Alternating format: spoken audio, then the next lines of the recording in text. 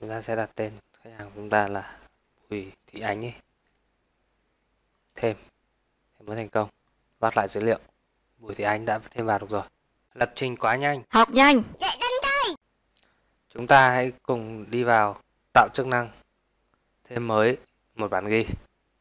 Cụ thể ở đây là thêm mới một khách hàng. Đầu tiên thì chúng ta sẽ vào form design. Cho nhỏ grid, grid view ở đây chúng ta sẽ search ở trong toolbox. Text box. Một click vào. Một text box sẽ được thêm vào trong form của chúng ta. Chúng ta sẽ kéo thả ra giữa. Chúng ta sẽ đổi tên của text box này đi. Sẽ là txt tên. Khách hàng.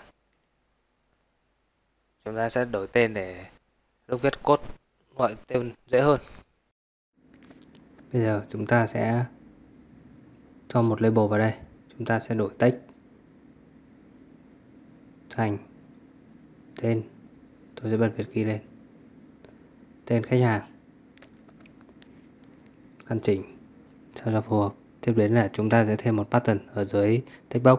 Chúng ta sẽ đổi text của button thành thêm sau đấy đổi name của button để dễ gọi hơn là ptn thêm.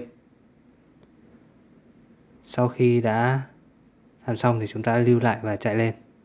Giao diện tương đối ổn rồi. Chúng ta sẽ double click vào nút button để thêm một sự kiện click. Chúng ta sẽ copy code ở phần lấy khách hàng viết lại vào đây. Chúng ta làm voi nên không cần trả lại gì về. Chúng ta sẽ thay đổi SQL adapter thành SQL comment sau đấy đổi tên biến thành cn cn begin eq non query. Tiếp đến nữa là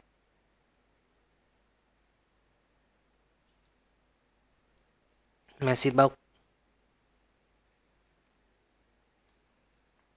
Sau.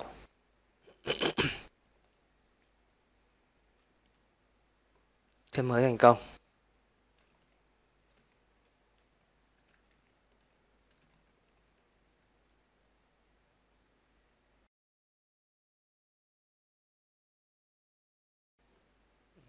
Chúng ta các bạn phải, phải cho bên trong. Hoặc kép. Ok như vậy là chúng ta đã cốt xong. Chúng ta sẽ cùng chạy thử chương trình. À xin lỗi các bạn chúng ta cần phải thay câu query này. À, không phải câu select mà là câu insert. Thì để insert cho chuẩn thì chúng ta sẽ thử insert ở trong SQL trước. Chúng ta sẽ viết câu câu, câu insert insert into bảng của chúng ta sẽ là bảng khách hàng. Chúng ta sẽ cần chỉ thêm tên khách hàng thôi. Value à, chuyển tên khách hàng vào. Đây tôi sẽ tên khách hàng là nam.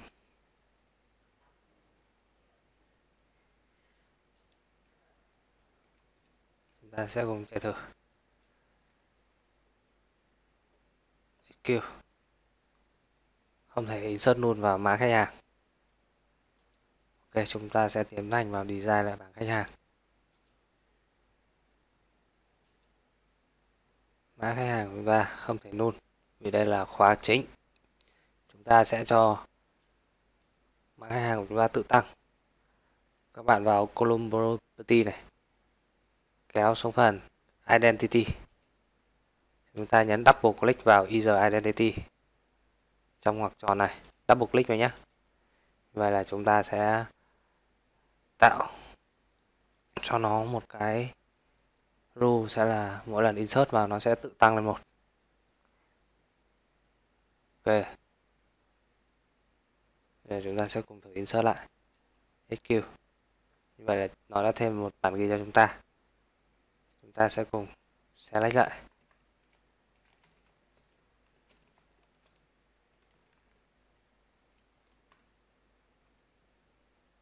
Q đấy nó sẽ tự tăng lên một cho chúng ta. Ok như vậy là chúng ta sẽ dùng được câu query này. Chúng ta cùng copy và paste lại vào đây. Và phần à, giá, liệu, à, giá trị thực tế này tôi sẽ thay bằng giá trị trong text box của chúng ta. Text box của chúng ta có tên là TT tên khách hàng. Chúng ta sẽ lấy tách của text box này. Tên khách hàng là nữ đi. Thêm. Đã xảy ra lỗi rồi.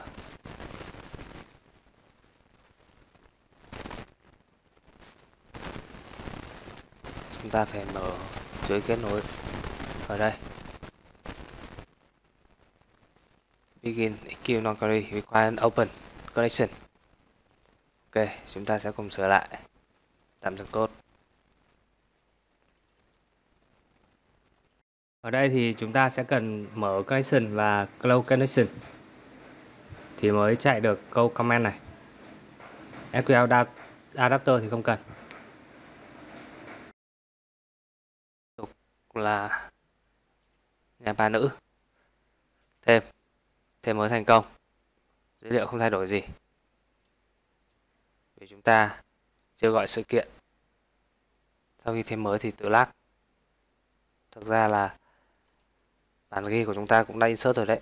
Đây, các bạn có thể thấy. Không thấy. Không có. Chúng ta sẽ cùng kiểm tra. Xin lỗi các bạn nhé. Chỗ này chúng ta đang gen code sai. Chúng ta sẽ lại xq non query chứ không phải begin xq non query chúng ta sẽ cùng thử lại. Chúng ta sẽ thêm một khách hàng là tên là nữ.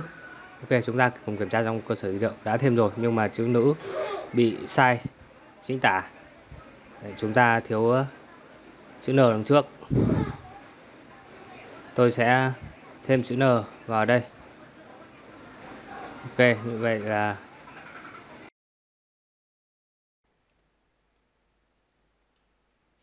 kêu select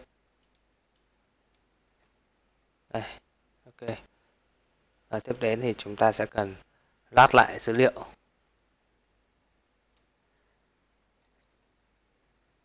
Chúng ta sẽ gọi lại form lát này.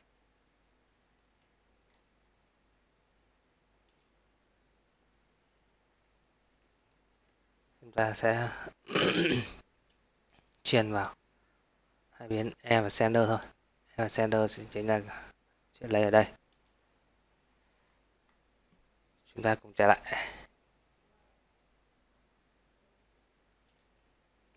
Chúng ta sẽ đặt tên khách hàng của chúng ta là Bùi Thị Ánh ấy.